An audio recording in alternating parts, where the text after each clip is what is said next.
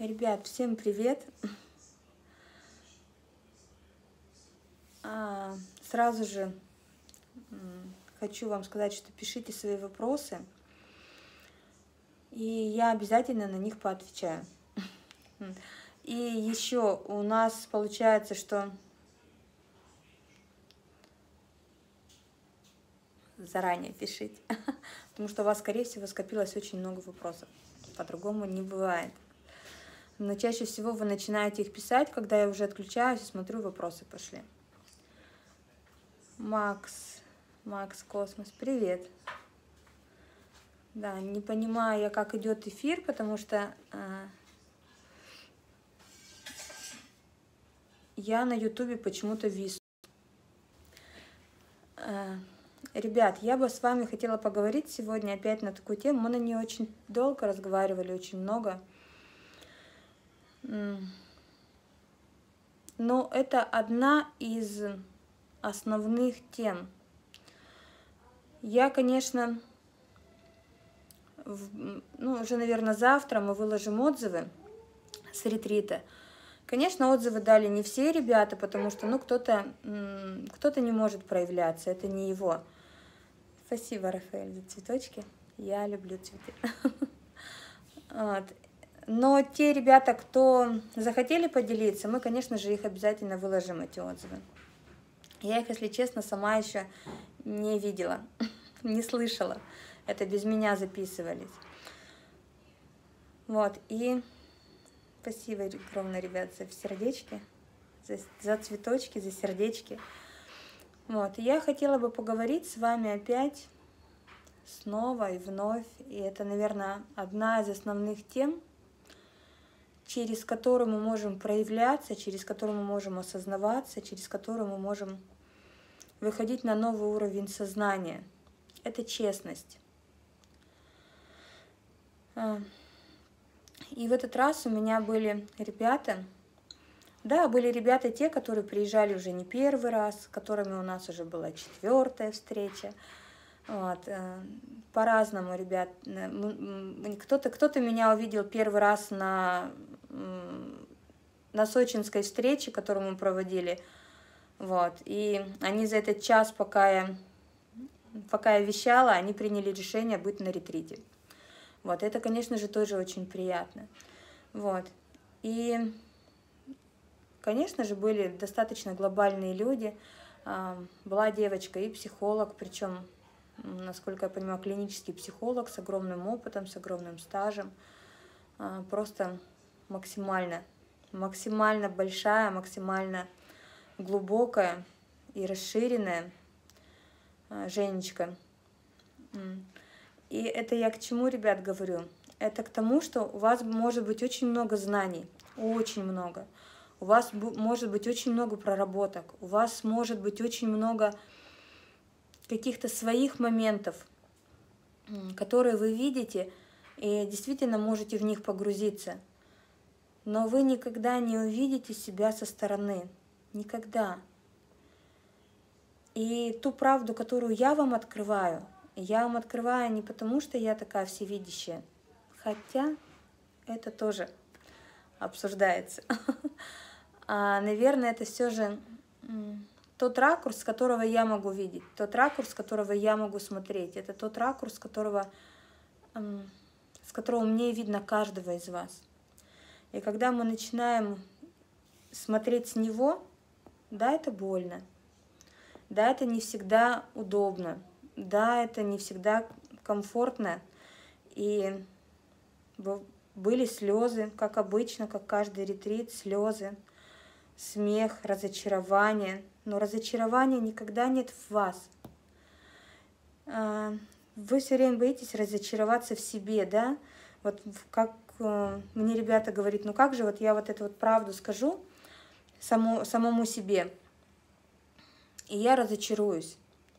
И действительно, каждый из вас боится в каких-то моментах сказать себе правду, признаться. А, не потому, что вы ее не видите, а потому, что вы этого человека, самого себя, выстраивали, любили, принимали, спорили с собой, что-то себе давали самое лучшее. А потом раз, сами себе сказать, что я – это не я. И это действительно тяжело. Но, ребят, поверьте, разочарования не бывает. Разочарование может быть только в том случае, когда вы понимаете, что как так, я столько времени потратил не на то. И то, когда до вас доходит осознание, вы понимаете, что если бы вы потратили это время на что-либо другое, то бы вы бы не встретили себя именно в том состоянии, в этом времени, когда вы максимально готовы к себе. Поверьте, все всегда вовремя, все всегда своевременно и в том месте, когда это есть. И когда мне ребята начинают писать и говорить, боже мой, как же так, вот я там хотел попасть на ретрит и не получается. Ребят, не расстраивайтесь. Вы всегда будете именно там, где вы готовы быть. Вы всегда именно будете там, где ваше место на данном этапе. И всегда будете с, чем, с тем человеком, с которым вы должны быть.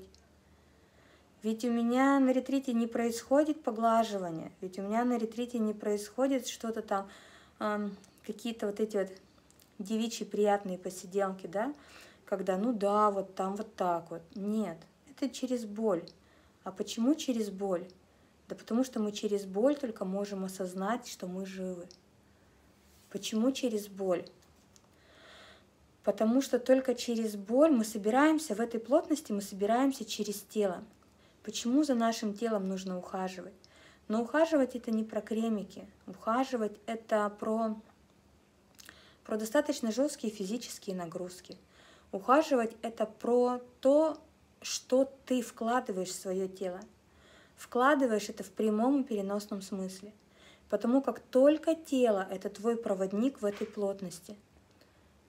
Как ты готов осознаваться в этой плотности через что? Если твое тело вибрирует болезнью, если твое тело вибрирует болью. И только когда оно у тебя достаточно натренировано чем-либо, то тогда ты можешь проводить через это тело те сознания, которые может выдержать твое физическое тело. И да, что такое страх? Когда мы боимся прийти к самому себе.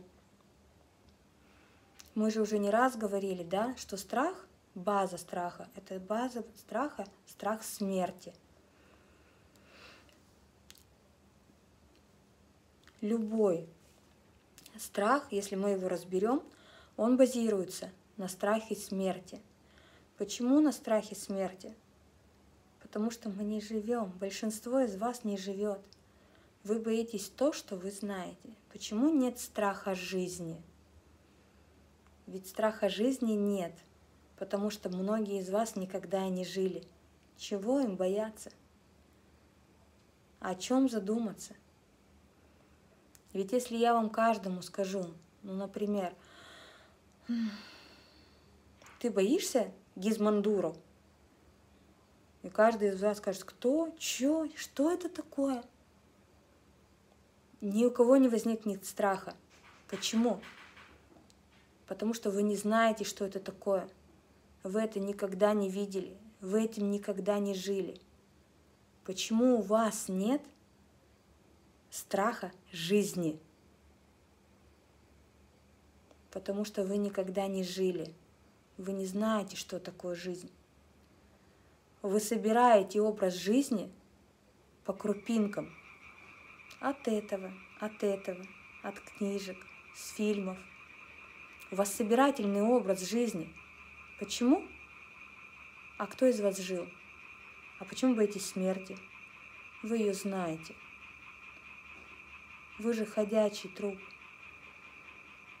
И только когда ты познал жизнь, только когда ты научился жить, только когда ты течешь по течению своей жизни, у тебя больше нет страха смерти. Ты познал другое, ты познал иное. И ты можешь находиться теперь в этом состоянии. Что мы делаем на ретрите? Что я делаю? я открываю вам вашу смерть с разных сторон, с разных ракурсов. Для чего я открываю вам вашу смерть? Чтобы через смерть вы вошли в жизнь, чтобы ощутили, что это такое. Если вы хотя бы один раз, если вы хотя бы один шаг сделаете в жизни, вы этого никогда не забудете. Вас, ваш мозг не сможет это заблокировать. И что происходит? Уходит оценочное, оценочное мнение, уходит сопереживание, уходит боль и горечь, потому что все это есть только в смерти. А если смерть больше не интересна, может ли она триггерить? Или ты полностью поглощен своей жизнью? Ты начинаешь ее исследовать, ты начинаешь ей жить, ты начинаешь ей смотреть на свой мир. Что у тебя уходит на задний план? Смерть, которая всегда рядом и к которой ты можешь вернуться в любой момент, когда ты захочешь. Когда ты захочешь, не кто-либо. И тогда ты начинаешь быть властелином своей жизни. А это абсолютно про другое. Хочешь раскрыть свою смерть? Только через раскрытие смерти ты можешь прийти в свою жизнь. А по-другому как?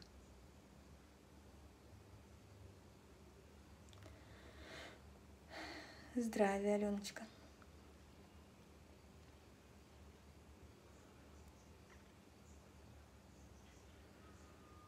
Ведь мы очень многих моментов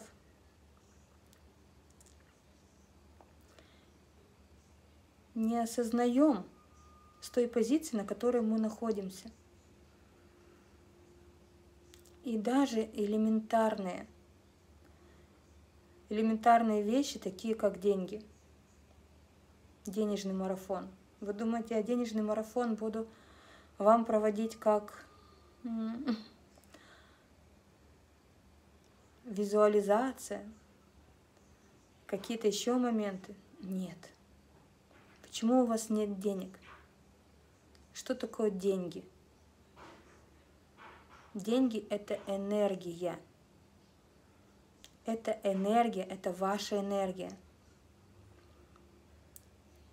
Деньги не зарабатываются. Вы же все прекрасно видите людей, которые работают на двух, на трех, на двадцати двух и на 23 работах, которые сами себя не видят и не помнят, но у них нет денег.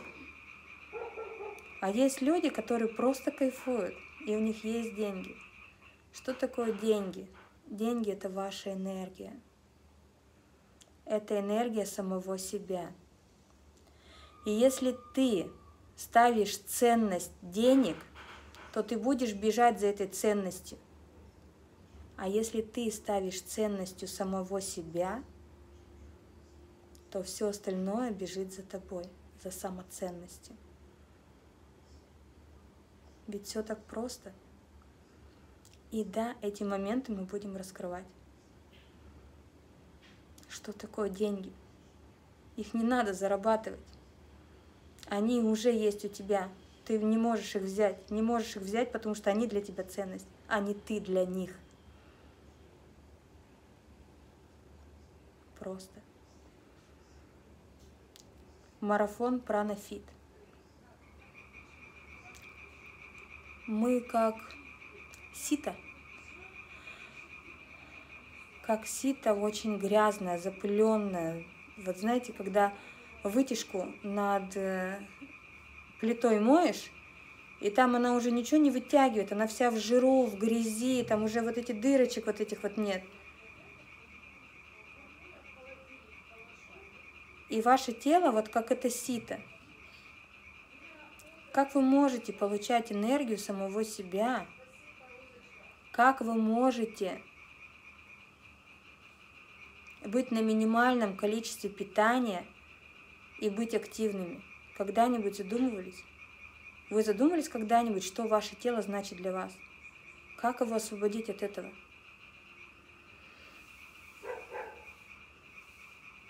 Как его очистить? Какими физическими упражнениями? Какими психическими упражнениями? Что нужно сделать, чтобы запустить, чтобы прочистить свою ситечко? Чтобы запустить энергопоток через свое физическое тело? Да, это пранафит.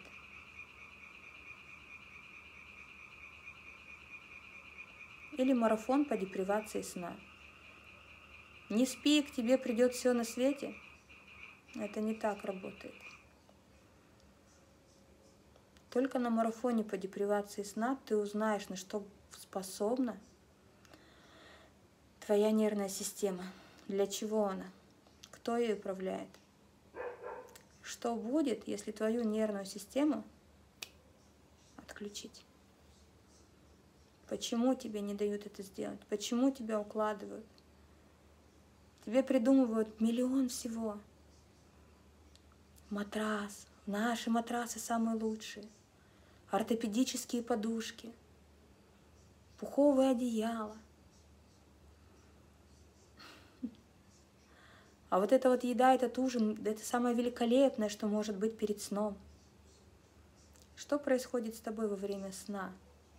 Почему твое тело не пускает того, из материи, что тебе же самому будет комфортно. От чего тебе будет комфортно? И да, это строится через нервную систему –